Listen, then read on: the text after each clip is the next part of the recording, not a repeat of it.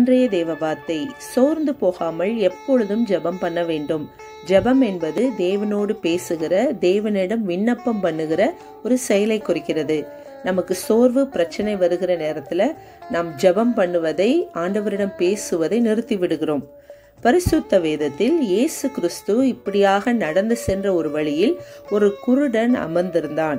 அவன் இயேசுவை நோக்கி இயேசுவே தாவீதின் குமாரனே எனக்கு இரக்கம் செய்யுங்க என்று சத்தமிட்டு கூப்பிட்டான். அப்போ அங்க இருந்தவங்க எல்லாம் அந்த மனிதனை அதட்டி பேசாம இருக்கும்படி சொன்னாங்க.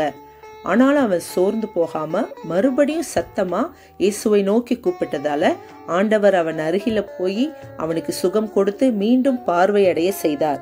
நீங்கள் கூட ஜெபிக்கும் போது யாரோ சிலர் உங்களை அதட்டலாம். நீ ஜெபிச்சு என்ன நடக்க போகுதுன்னு உங்களை சோர்வடைய பண்ணலாம். ஆனால் சோர்ந்து போகாமல் ஜெபம் பண்ணும்போது நீங்கள் விரும்புகிற அற்புதத்தை பெற்றுக்கொள்வீர்கள். அமேன்